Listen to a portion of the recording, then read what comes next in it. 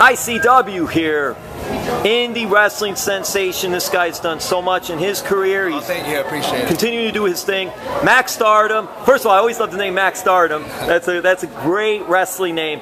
For you, what does it mean? What has Rusty Brooks meant to you? Well, everybody knows I was trained with Soul Man Alex G.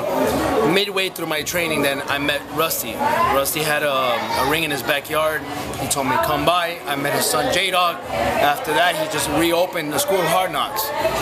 We had a great time together, and Rusty taught me everything that I was missing from charisma to a character to building who I am, and that's Maxx Stardom. As a matter of fact, he helped me make my name.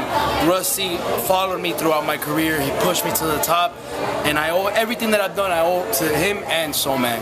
So I can say Rusty's like a dad to me. Rusty is here tonight at the big ICW Lucha Fest 4. What's it like too when he's able to come out and watch you guys compete? I mean, every time that I took a bump, every time that I did a drop kick, every time that I did a punch, I looked his way and made sure he was looking and he was smiling. And I was making sure that I did my job just how he expected when he taught me for the first time. So it's it, it's just like having your parents watch you for the first time. Having Rusty at ringside is a is a privilege, and I appreciate him. And I wouldn't be here without him. So I owe him my whole entire career.